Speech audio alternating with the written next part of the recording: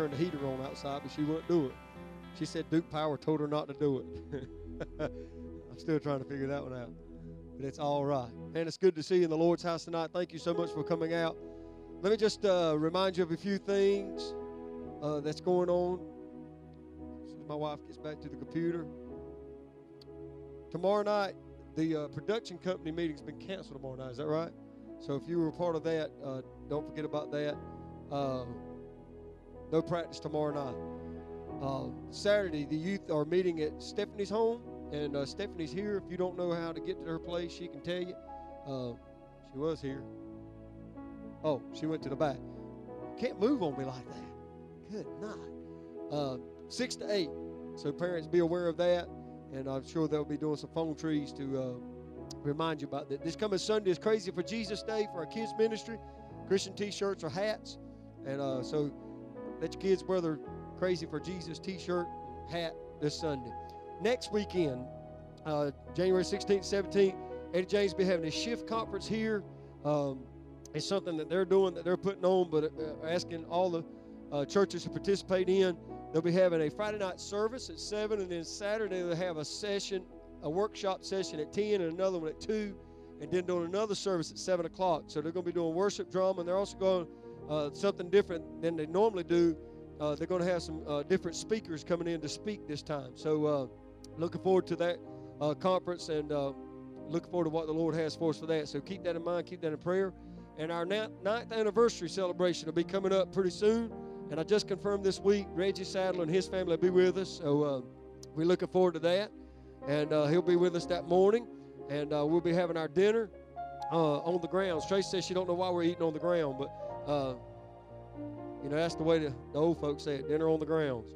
Uh, but we are having our lunch that day, and I know that the ladies will be getting with you uh, about that meal uh, for that particular day. They'll be getting with you uh, coming up here pretty soon. So keep that in mind, and uh, we just appreciate you coming out to the Lord's house. We got a lot of folks that we need to continue to pray for, a lot of things that are going on, so we want to open up with prayer, ask God to have His way.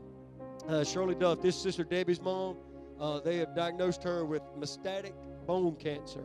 And what that means is the cancer has gotten into her bloodstream, and uh, it's not it's not good. So uh, remember Shirley that God will touch her and minister her, and uh, pray for Sister Debbie. They're having to work out some uh, different issues because of this. Uh, we want to pray that the Lord would uh, work these things out for His His glory and their benefit, and that God would have His way in this. So remember her if you will. Continue to remember Sister Libby's been battling with bronchitis. Jennings Farley is dealing with some breathing problems. Sister Debbie, we'll continue to pray for total healing for her. Larry and B. Hudson. Uh, this couple that generally sits up here with Fanny and Terry. Uh, they've been battling some sickness. Uh, Nick Dula uh, is in need of salvation, so remember him if you will. Corey Norman, uh, continue to pray for total deliverance for him, and also uh, Jeff Tucker, total deliverance for him and salvation. Continue to pray for Amy Franklin for total healing, and Tammy Lott for healing. And Elijah Etheridge broke broke his arm, so remember them if you will, that God would touch them and minister to them. Uh, do you have any request that you want to make known this time? Amen. If you would stand and we're going to go to the Lord in prayer, ask Him to have our have His way. Yeah. Yeah.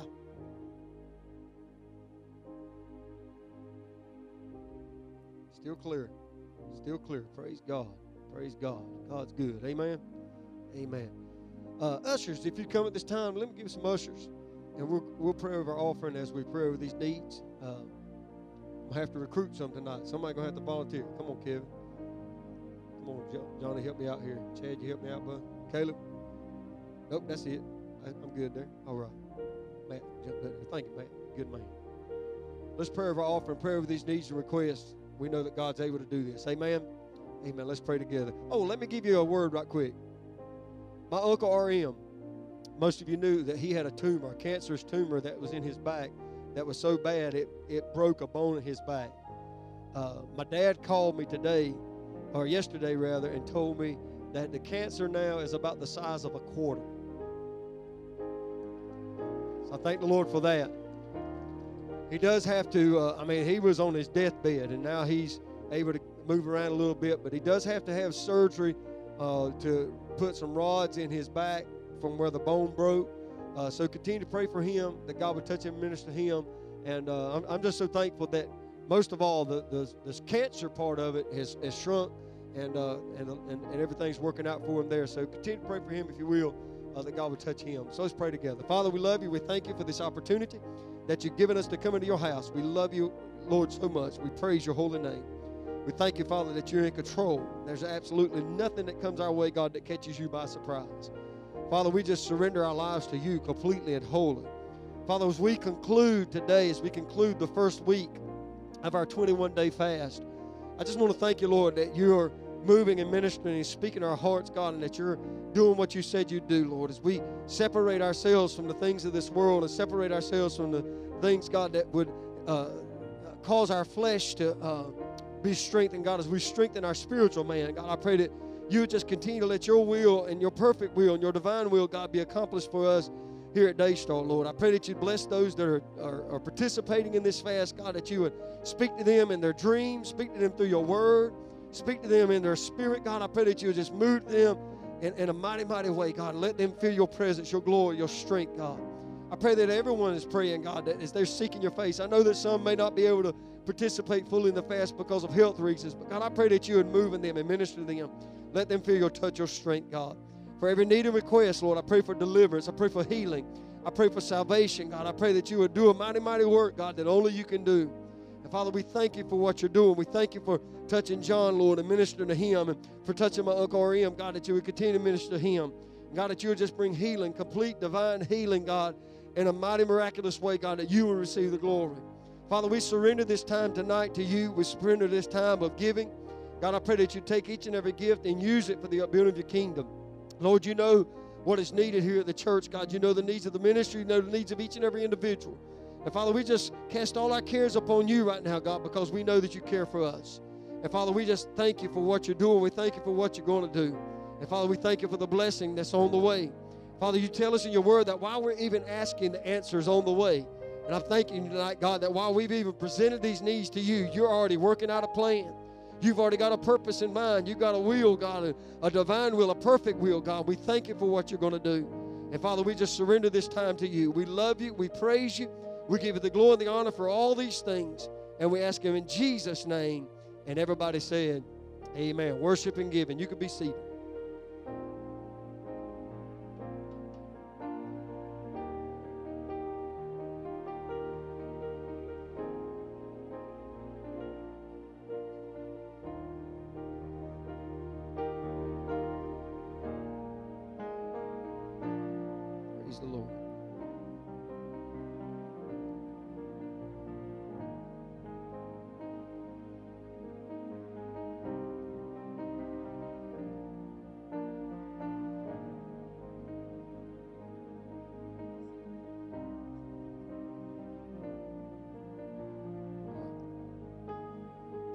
Appreciate you giving tonight. Thank you so much.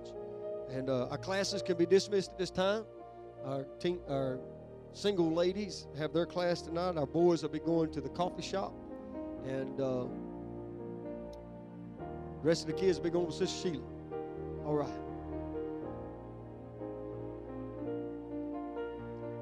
That leaves some big old holes. Y'all feel all right over there by yourself? You good? I acknowledge you every now and then. I'll look over that way, or you can move over. It doesn't matter to me, whichever way you want to do it. Ephesians chapter 1. Ephesians chapter 1.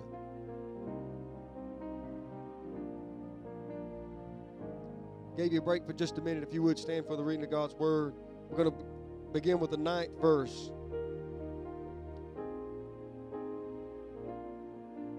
Ephesians chapter 1, verse 9.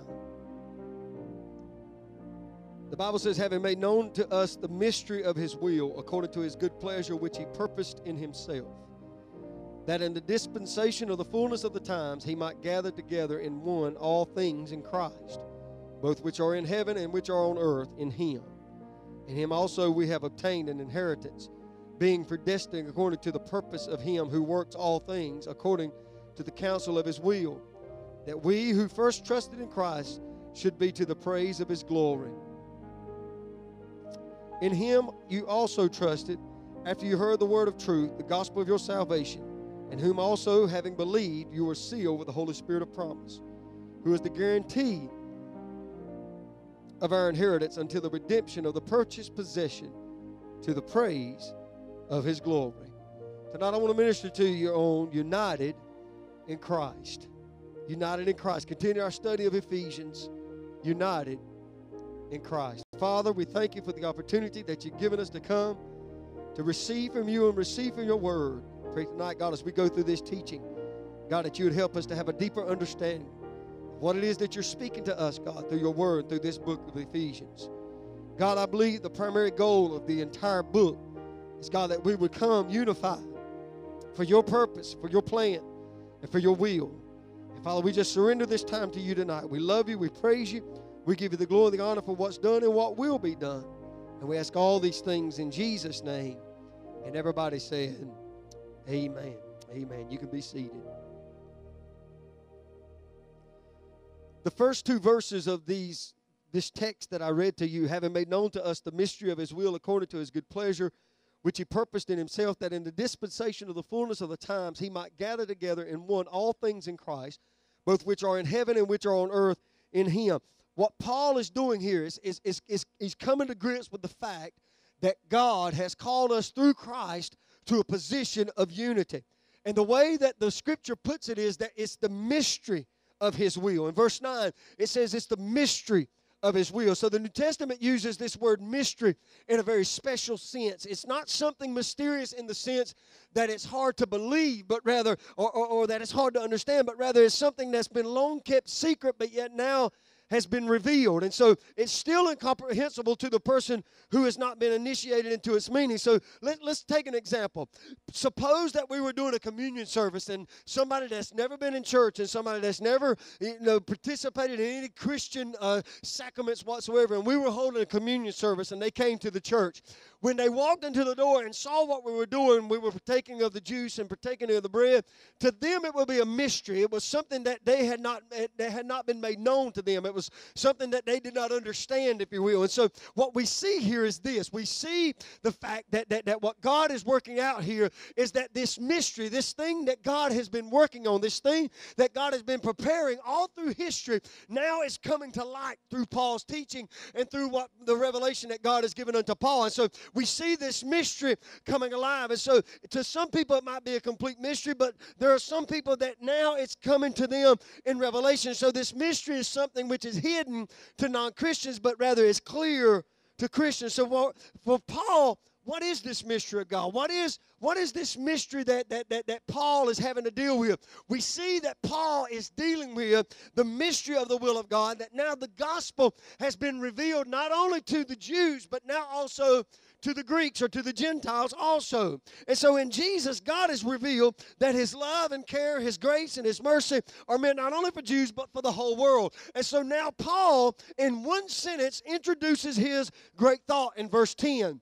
In verse 10, he says that in the dispensation of the fullness of times, in other words, in the plan of God, what God has planned out, he might gather together in one all things that are in Christ. And so God said, or Paul is saying here that God had a plan all through history to bring to pass this plan of bringing everything together in Christ. We can see this in the book of Genesis, in Genesis chapter 3, verse 15, where he declares unto the enemy, he says to him, I will put enmity between thee and the woman, between thy seed and her seed. That shall bruise his head, and he's going to bruise, or that, he's going to bruise your head, and you're going to bruise his heel. So, so God enacted a plan right there in the midst of creation to bring to pass Jesus Christ, the culmination of the Son of God to come to bring unity within the body, within the whole world. And so Paul now sees this mystery that the gospel is now open to the entire world, especially the Gentiles. Now you got to understand something here.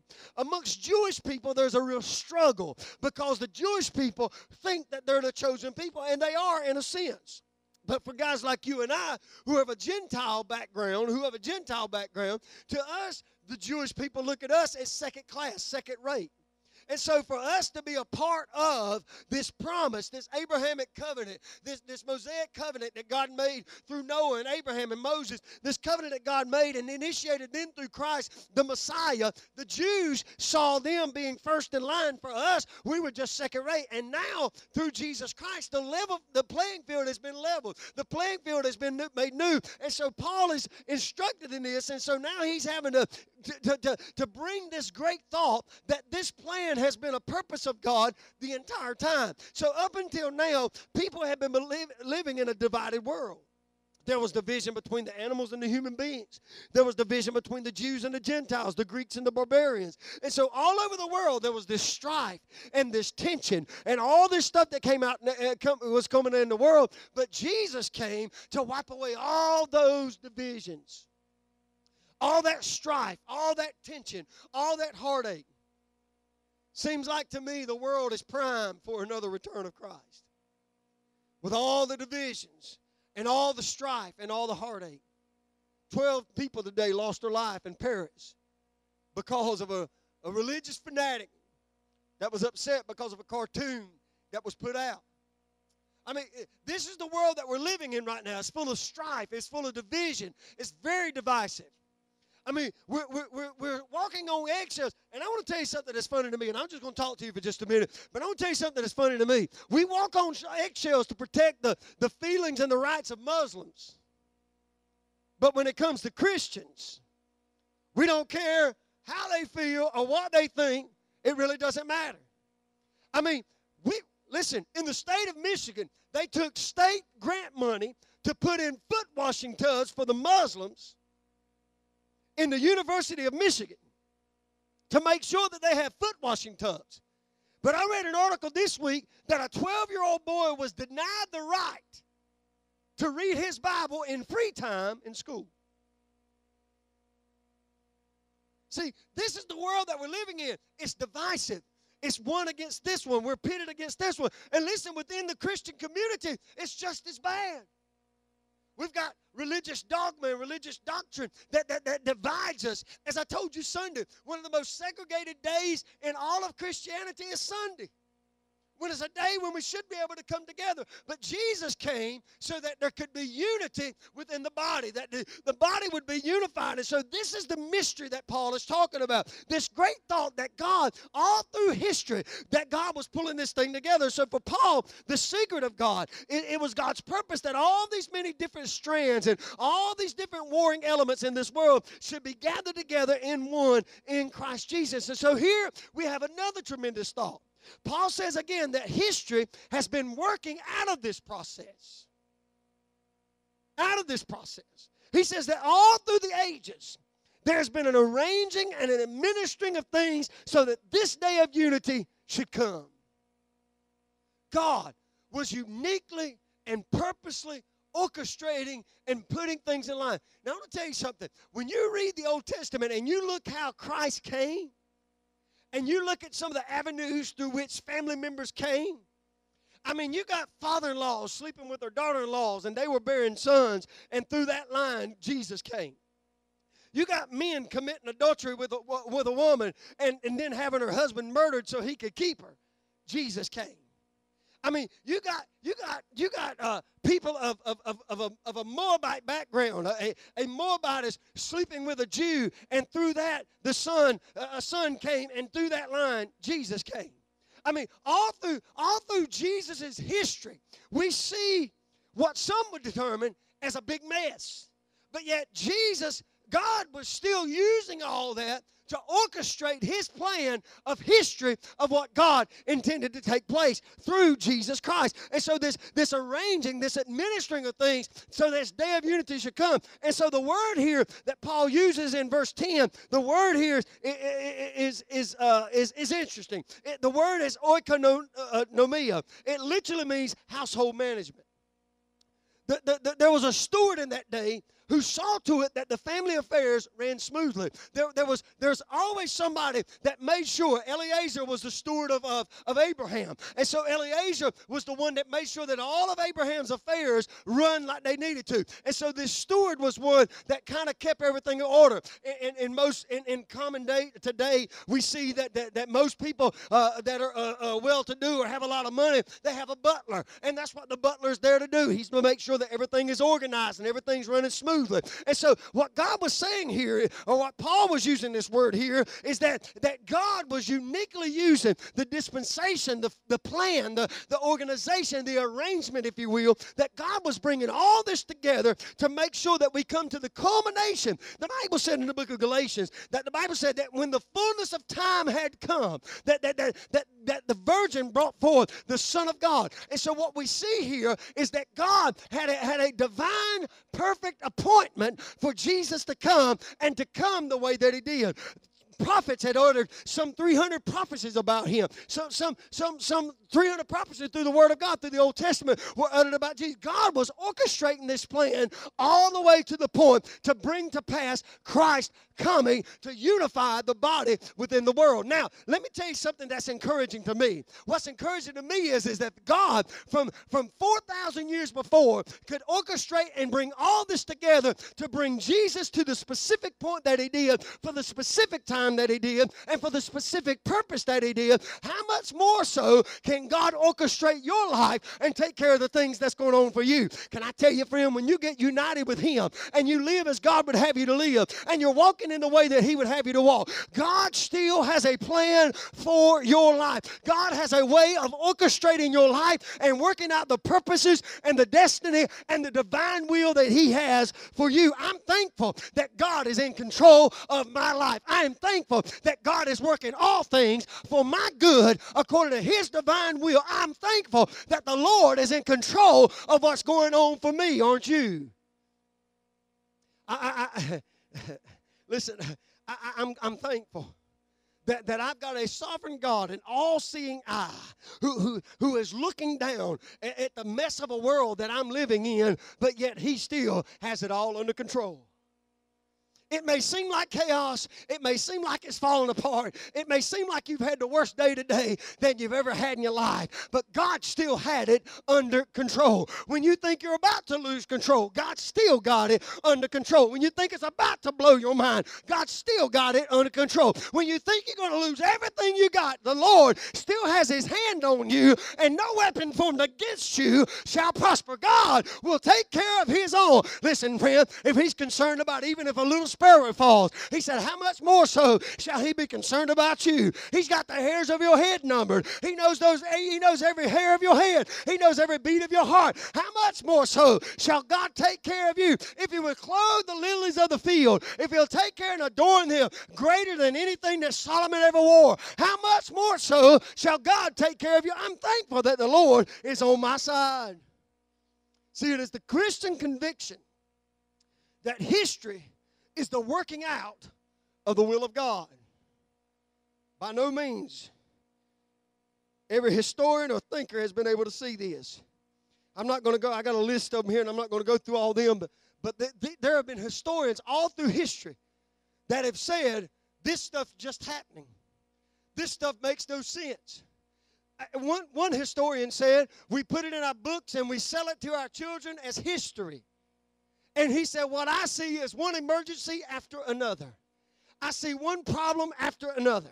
I see one incident after another. And he said, It makes no sense to me when I look back at it. But yet, when it doesn't make sense to us, God is still in control. When it doesn't look like it makes any sense and it's not going to work it out, God is still in control. And if I can repeat myself tonight, I just want you to hear this one more time. I believe that all things work for the good of those that love the Lord and are the called according to his purpose. You mean, preacher, my bad day, my fire on my job, my, my, my inability to pay my car payment, you mean that's working for my good? If I believe the Word of God, it doesn't matter what the sickness is, it doesn't matter what the disease is, it doesn't matter what the boss man says. I believe that all things work for the good of those that love the Lord and are called according to His purpose. I believe that God has a divine plan for everything that comes into my life.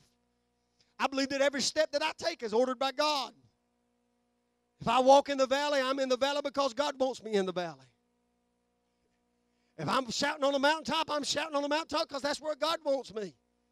I'm telling you, friend, I'm thankful that the Lord is in control. Preacher, why do I have to go through the valley? Because it, listen, friend, you can't always shout on the mountaintop. There's no substance on the mountaintop. Nothing grows on the mountaintop. Everything grows in the valley. If you're going to get something that's going to sustain you, you're going to have to go through some valleys sometimes. That's where you find your strength. Listen, I know everybody wants to shout. Everybody wants to dance. Everybody wants to hoop and holler. Everybody wants to carry on. Everybody wants to leap from one mountaintop to the next mountaintop. But I'm going to tell you something. After a while, you'll be malnourished spiritually and you're going to die. I'm telling you, the shout ain't always going to keep you. I found when I'm fighting the enemy and all the hell is broke loose in my life that a shout didn't do nothing for me. But when I got down on my knees and agonized in prayer, I was able to see an enemy back up. I was able to see hell retreat. Why? Because I understood that God was fighting for me. Even in the valley, I found my strength to know that God was on my side. I'm telling you, friend, I'm thankful for the Lord to be on my side. Every historian ain't seen it this way, but this is the way I see it. So, so it so happens that we're living in an age in which so many people have lost their faith in any purpose for this world. I mean, you, you, and I talk to these folks, man. I, have talked to these folks. I mean, they, they, they say, What's the use? Why even try? What's going to happen is going to happen. I mean, when it gets around election time, I got family members and friends that tell me, Why vote? They're going to do what they want to do anyway. And they approach life that way. They approach life as, Why even try? What's going to happen is going to happen. If it breaks, it breaks. If it doesn't, it doesn't. And there would be people that would say, well, if God's in control and God's working all this, then we just need to just kind of fall down like blobs and let God do what God wants to do. No. Listen, we are in a cooperative effort with the creator of the heavens and the earth. And in this cooperative effort, God is working with us for our good. Listen, how can I take an ordered step by God if I refuse to step? How can I see all things work for my good if I'm not willing to get in the mix of some all things? Amen. I told you a couple of weeks ago if God is an ever present help in a time of trouble, then we need to get in some trouble. Amen. Listen, I want to be where God's at. I want to be where His Spirit's moving. I want to be where His power is present. I want to be where His anointing is flowing. I want to be where the unction is. I want to be in the midst of the glory of God. And the only place that I'm going to find that, the only I got to be where God's at. Because if God's not moving here, I want to move somewhere else to find where God's moving. I want to feel and sense the moving of the presence of God. I need Him. So it happens that we're living in this age where people have lost their faith. But it's the faith of Christians that in this world, God's purpose is being worked out. And Paul's conviction is, is that it's God's purpose that one day all things and all people should be one family in Christ. Listen, God's going to bring this thing together. You know, it's easy for us within the Christian realm to look at other people that call themselves Christians who are really dropping the ball and messing up and doing things they shouldn't be doing. It's easy for us to, you know, to uh, to get discouraged. You know, and, we see that. But I, I just want to remind you tonight that God's still got a people. Whew. Just like he told Elijah, he said, Elijah, I got 7,000 that haven't bowed their knee to Baal. Can I tell you that God still got multitudes upon thousands upon thousands of people that, that, that are still loving him and consecrated to him and separated for his purpose? I know, friend, it can get discouraging when you've done all you know to do to try to live right and it seems like everybody around you seems to be falling apart. What do I do, preacher? I say, keep on keeping on. Don't back down. Don't give up. Keep pressing on to the mark of the prize of the high calling of God, which is in Christ Jesus. Jesus. In other words, don't give up. It's like that bullfrog that the pelican swallowed. Have you ever seen that picture? All you see is two arms outside that pelican's mouth holding on to the throat of that pelican. Those frog, that frog saying, I'm not giving up. You might have me in your mouth, but you ain't gonna get me down the throat. I don't know about you, but sometimes I feel that way. I feel like I'm struggling with life and life is struggling against me. But I'm hanging on because God promised me there's a hope. Woo, glory. There's a hope at the end of this tunnel. There's a light at the end of this thing. And I know it might seem dark and dreary on days. It's cold and nasty outside, but I'm telling you, I got a hope. I got a hope that's beyond any hope this world could ever imagine. I got a hope that's at the end of this thing that the Lord has promised me. And if I can just get one with Him and walk as He'd have me to walk and live as He'd have me to live, I know that at the end of this thing, it's all going to be worth it. Paul said, For I reckon that the sufferings of this present day are not worthy to be compared with the glory which shall be revealed in us. In other words, It's going to be worth it when you get to the end of this thing. So keep pressing on. Don't give up. Don't back down. Allow the Lord to do in your life what He said He would do. So, this mystery that Paul's talking about, it's not even grasped until Jesus came. So, now it is the great task of the church to work out God's purpose of unity, which was revealed in Jesus Christ. Let, us let, look at these next few verses Ephesians 1 11 through 14. The Bible says, In him also we have obtained an inheritance, being predestined according to the purpose of him who works all things according to the counsel of his will. That we who first trusted in Christ should be to the praise of his glory. Now, now I want you to notice something here. Paul is writing to the Ephesians church, and he's using language, and the language that Paul is using here, he, he's in these initial verses, he's discriminating between us and you. So, so he's still, in some regards, identifying himself with the Jewish race. And he's saying, us and you. Let, let me start this over again, Steph. You can go back to verse 11. He said, In him also we have obtained an inheritance, being predestined according to the purpose of him who works all things according to the counsel of his will, that we who first trusted in Christ should be to the praise of his glory. So what Paul is saying here is listen, we, we were the first ones.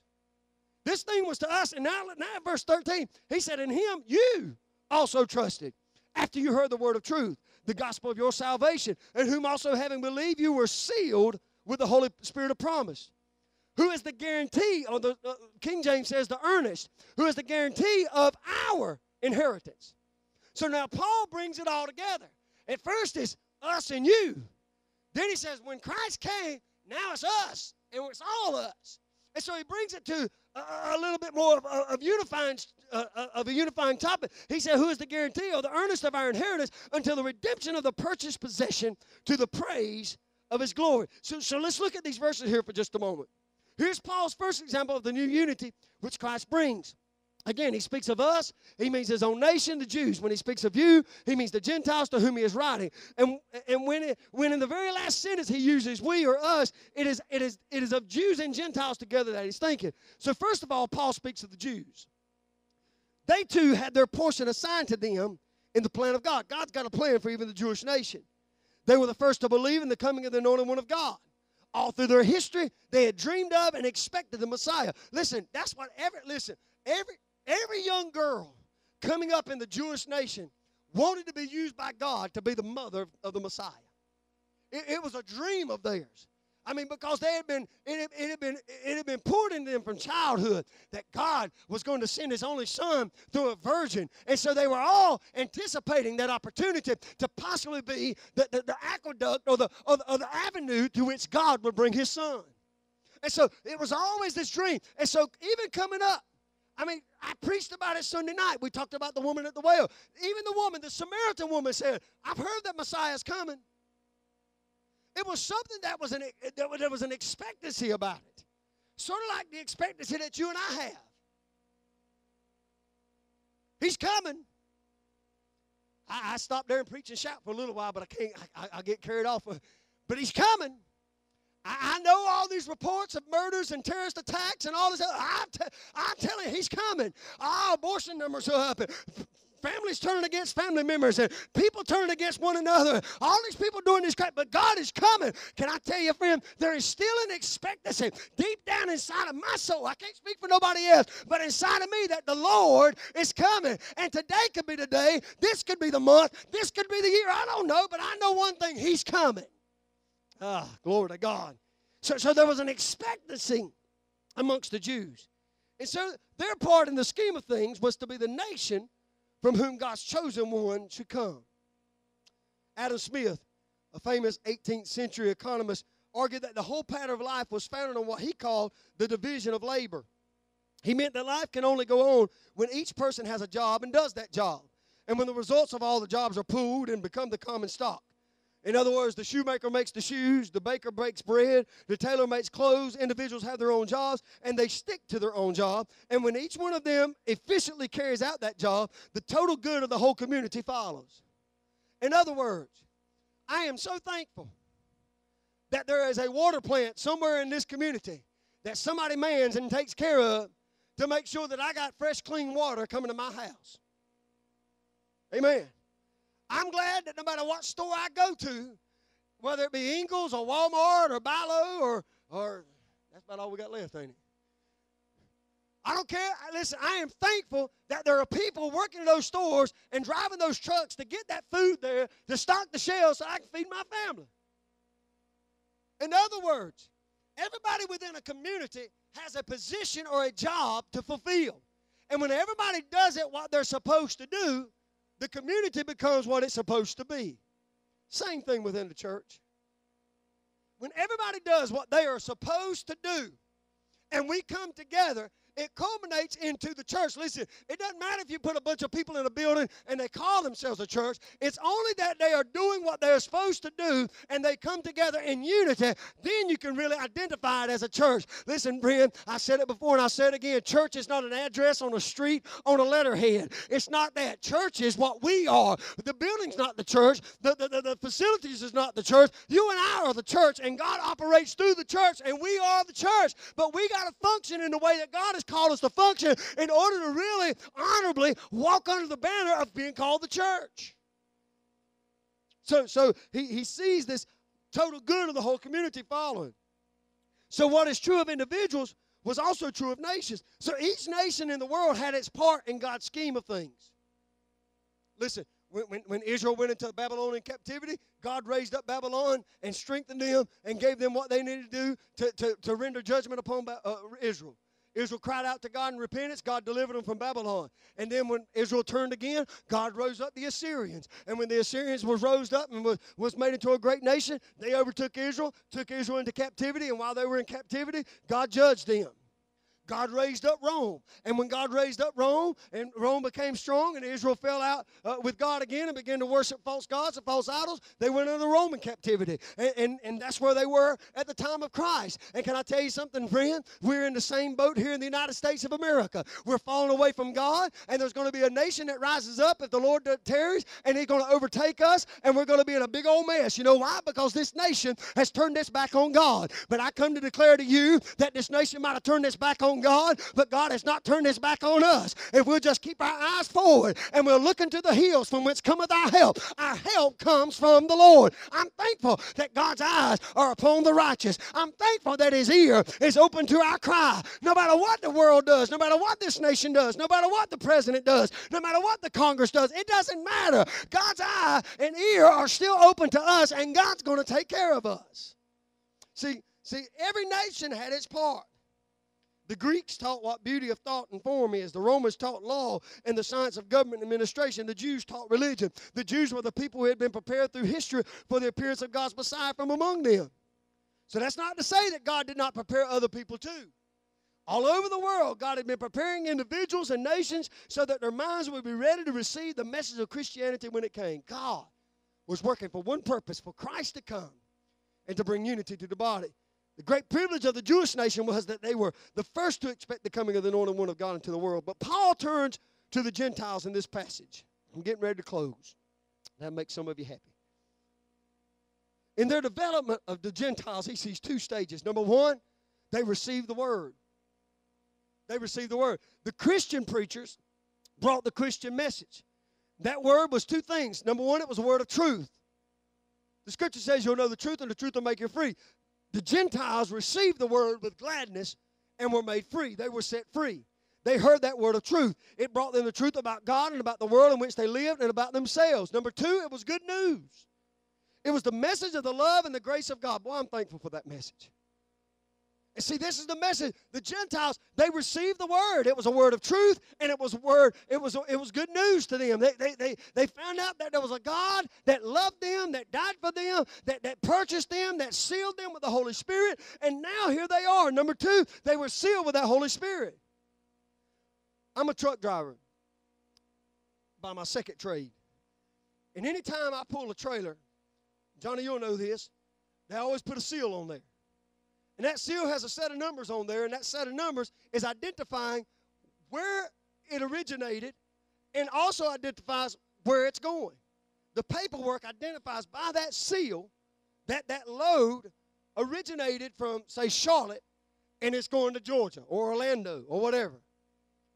It's the seal was put there by the one that was in, in control to identify this is mine.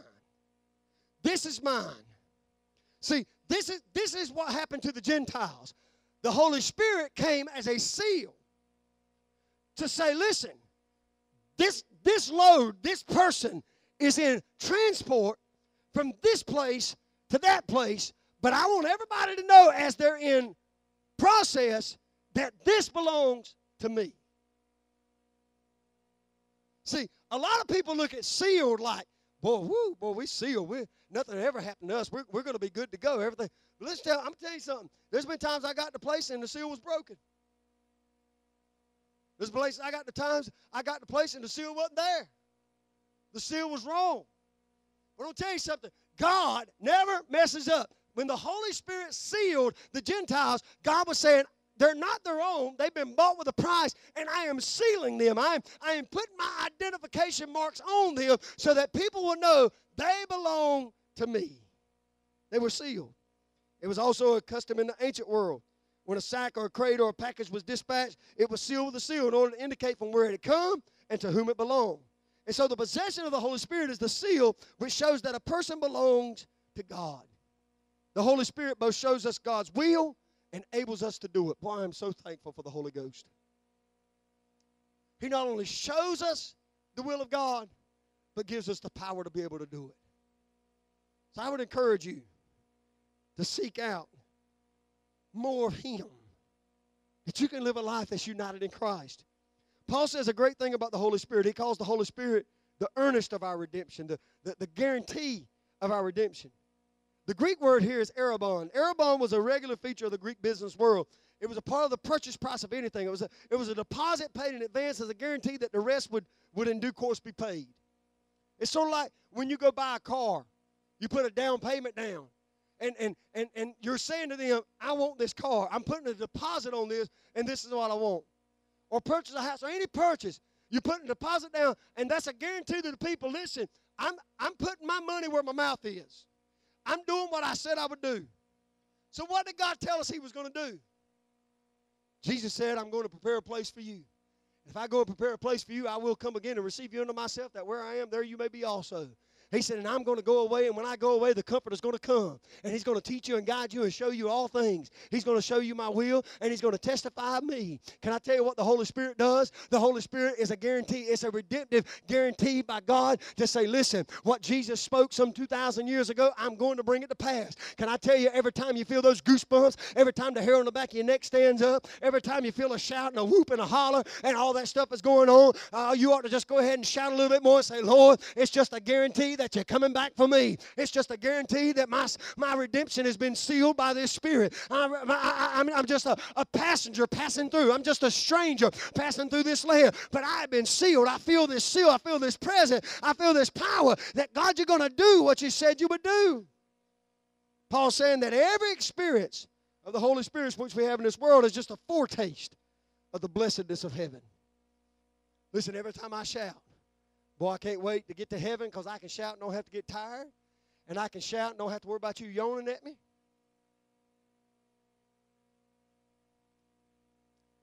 Preacher, you shouldn't be so mean to us. I'm not being mean. I'm just telling you the truth. I can't wait to get to heaven. Can't wait to get there. Listen, every time I feel Him, it's just a foretaste of the opportunity that I get to be with Him forever. He's just saying, listen, if nothing else, it's a kick in the spiritual seat of the pants to say, keep going, you can make it.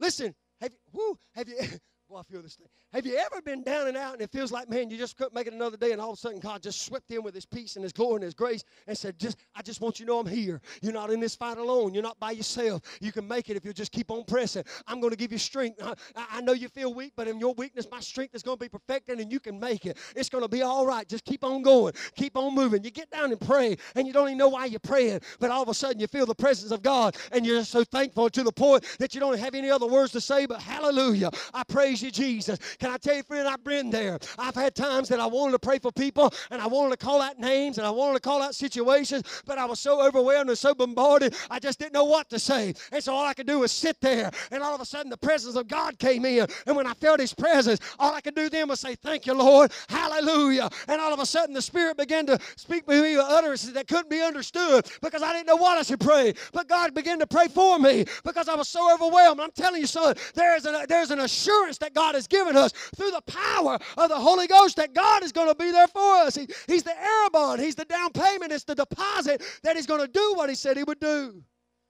The highest experiences of Christian peace and joy, which this world can afford, are only faint foretaste of the joy into which one day we'll enter.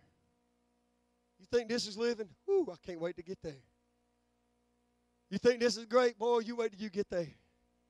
Paul put it one place, he said, I have not seen, nor ear heard, nor has it entered the heart of man all the things which God has prepared for us.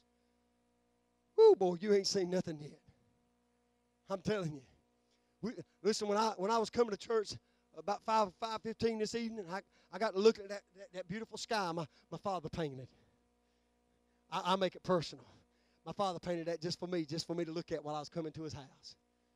I, I, I even took a picture of sitting at my wife because I knew she was in the bathroom in front of the mirror still fixing her hair and she was going to miss it. I knew where she was. She ain't back there. Don't look at her. That's why I'm talking like this. So I sent her a picture of it. And it was just an encouragement to say, listen, I'm listen, as beautiful as that was, as beautiful as that sunset was, as beautiful the colors, and, and, and you know, just a few months ago we was we was all enamored by, by the beautiful leaves and the colors and the oranges and the yellows and the browns and all these different colors. And, and we we go to aquariums and we see all the beautiful fish and we look at the awesomeness of the oceans and the mountains and all the majestic scenery that we have here on this earth. Yet God said, You ain't seen nothing yet. You ain't seen nothing yet. Eye has not seen, nor ear heard, nor has it entered the heart of man all the things which God has prepared for us. Listen, folks. If I've got one reason to love my enemy, it's because I want to go to heaven. If I got one reason to forgive those that have despitefully used me and hurt me, it's because I want to go to heaven. As Brother Major used to sing, Oh, I want to see him. To look upon his face, there to sing forever of his saving grace. Folks, I want to see him. I want to behold him in all his glory. I want to see him in all his power. I want to see him all his majesty.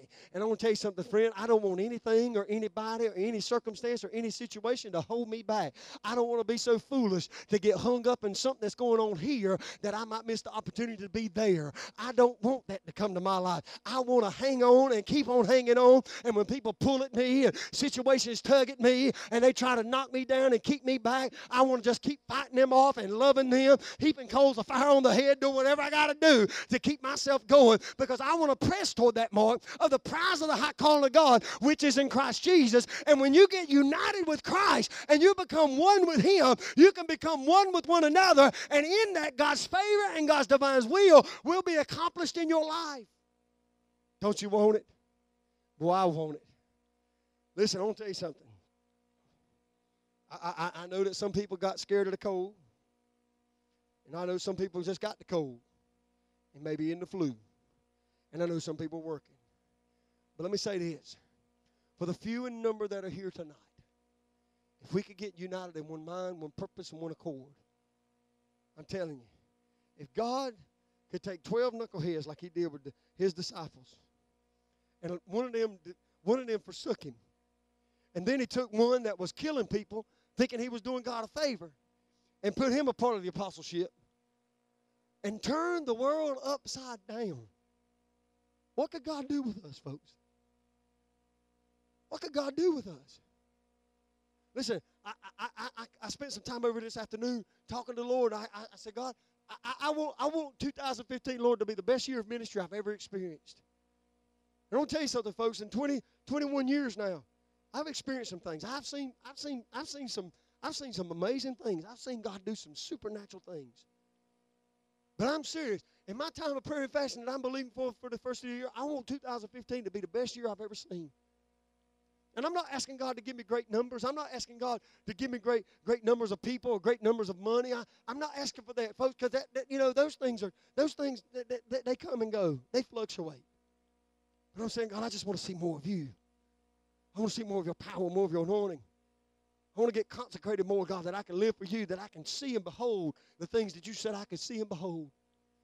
God, if not in this life, in the next, I, I somewhere or another, God, I, I want to behold you in all your glory and all your beauty and all your wonder. Man, God, I want to see you. I don't know about you, but I want this year to be the best that it could possibly be. There's some things, listen, there's some things I want to ask of you. There's some things I, I'm believing that God wants us to do in this community. I, I, I, I'm, I'm believing that God's going to work some things out and we're going to be able to make some differences. I'm believing for that. And I'm telling you, there's got to be a coming together. There's got to be a coming uh, uh, uh, together of one mind, one accord. There's got to be a coming together to say, you know what, we're, we're here for a unified purpose. You know, that's why I like working with CPC. It doesn't matter. It doesn't matter what denomination. It doesn't matter what belief. It doesn't matter what theological thought. When people come together to save the life of a baby, they put all that stuff aside. Man, I want to tell you something. God blesses that. I, I, I, and, and that's what I want to see. That's what I want to see amongst the church. You know, I want to make connections with Baptists and Presbyterians and Wesleyans and and Pentecostals and Assemblies of God and, and Pentecostal Holiness and Church of God. And I want to make those connections and come together with them and say, listen, let's make a difference in the Lincoln County. You know what I'm saying? I, I want to get those non denominational people that don't know who they are and help them figure out who they are. Amen. I, I want to see God do it. listen, I know God can do it. I believe the Lord's got a plan. I believe God's got a will for 2015, and I think it'll be bigger and better than anything we could ever imagine. If we just put our mind to Him and, and watch this step that we take here and say, God, that's by you, and I want to praise you for that step. God, whoo, that step right there, God, I just want to praise you for that step. I told you the Lord dealt with me before the first year because I kept asking Him to give me this picture. And God told me, said, Can you just trust me for the next step? You know, and, and, so I'm at the point now I'm just saying, okay, God, I thank you for that step right there. That was ordered by you, Lord. I don't know where it's leading me to, and I can't see ahead of me, but God, I know that you're in control. And so if I step this way, God, you're in control, and you're going to make a way for me. Listen, if He leads me in desert places, He can provide streams in the desert. Amen. If He leads me in the valley, I will not fear. If I'm even walking in the valley of the shadow of death, because God's with me. Boy, I'm glad to know that I can be united with Him, and he, wherever He leads me, I'll follow. Amen. Amen. God's such a good God. Do you love Him tonight? Come on, give Him a praise, would you? God's so good. God's so good. Let's stand. I appreciate you coming out tonight and, and uh, enduring me for a little while. Amen. Got some things I want you to help me pray about. Gonna, i want you to put it on your prayer list as we pray over these next couple of weeks. Something I was talking to the Lord today about is a tutoring program. I, I, I want, I want somebody to pray and ask God what, he have, what He'd have you to do and, and, and maybe help us get a tutoring pro- program started for our school children here. I, I want us to pray specifically for our, for our outreach ministries, especially concerns our kitchen. And uh, I, I asked God today, I said, Lord, I, I, like, I like to uh, raise enough money to get us a walk-in cooler and a walk-in freezer so that we can stock foods here and take care of people that, that are in need. So, so I, am asking God for some specific things, okay? Uh, you know, I, I, I repented a little bit today because, uh, you know, there's some things that I've repented for before, and I, I talked to the Lord. I said, Lord, I, I don't want to be slack, and I don't want to be sloping. I don't want to miss your plan. I, I, want, I want to do what you call me to do. Listen, folks, I, I, I, I've got big dreams, big ideas because I know I serve a big God. Amen. Who's able to do exceeding abundant above all that I ask or even think. Amen. So whatever I put before him, God can blow my mind even with the thing I've asked him. But I also know that if I ask in faith and believe, and it's for his glory, that God will work all things for our good. Amen. I'm believing for that. So I want you, I want you to begin to help us pray. Men, those of you that like to help us, we got we got some projects that we're getting ready to commit to. I need about six or seven men that'll help me uh, uh, do some things um, construction wise. We're going we're going to start helping some folks out uh, with some decks, some elderly folks with some ramps and different things like that to try to help people get in and out their home and things like that. Uh, Brother Jim's not with us tonight, but uh, he's kind of helping me coordinate that. But uh, as soon as we can get a project, but I need about six or seven men that'll commit to me. That on some Saturdays we'll take a couple hours and go out and do some stuff and help some people within the community. We want we want to make that difference. So uh, we're going to try to get some of our young boys involved so they can learn some things and teach them uh, some things like that and try to work with them on that also. So, um, uh, Brother Jim will be here Sunday. If, if you will, please don't come tell me because I'll be forgot, okay?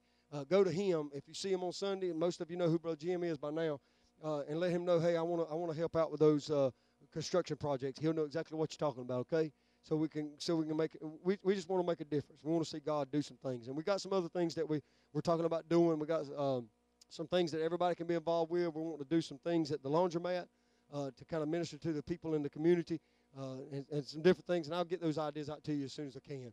Uh, we, will try to put my ducks in a row before we put too much out there. I don't want to overload you and say we're going to do this, this, this, this, this, and then you know one or two things get done. All of a sudden you're like, what? What happened? to All the other stuff we're going to do. Let's let, let's master one thing.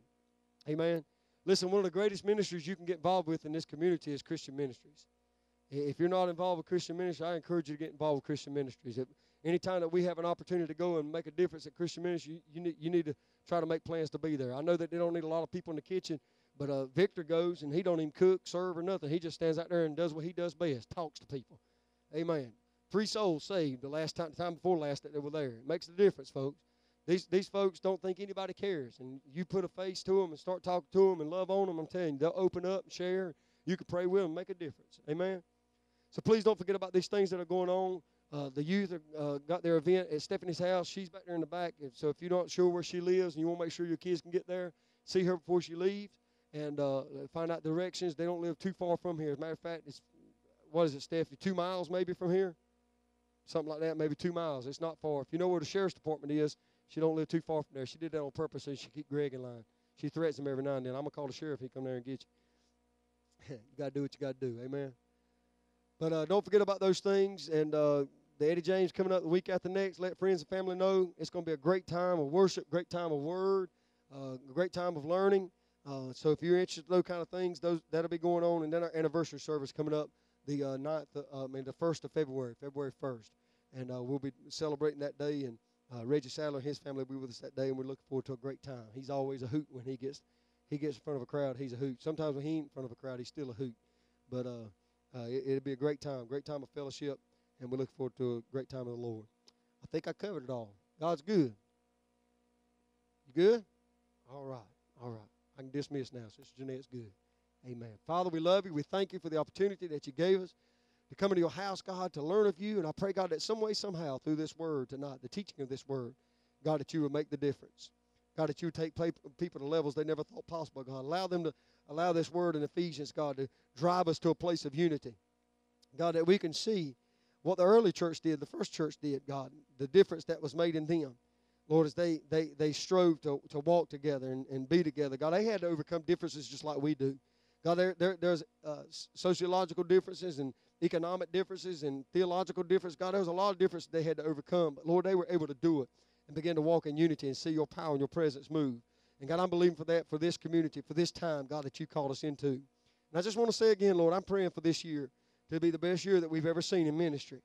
God, I, am not asking for I'm not asking for frivolous things. I'm not asking for things, God, that, that, that I know you, I know you're concerned about them, Lord. I'm not asking you for, for debt reduction. I'm not ask, I'm just asking you, Lord, that you would just show up and move and minister. And I know, God, that whatever comes our way, you'll be in control of it, God. We just surrender it to you. Father, we give you the praise, the glory, and the honor for what's accomplished, what will be accomplished. Bless these folks. Keep them warm tonight, God, I pray. Help them to just to relax in the warmth of their homes. God, I pray that you keep them in your arms and your care. And make your face shine upon them. Let your grace rest upon them. And we ask all these things in Jesus' name. And everybody said, Amen. God bless you. Have a great night.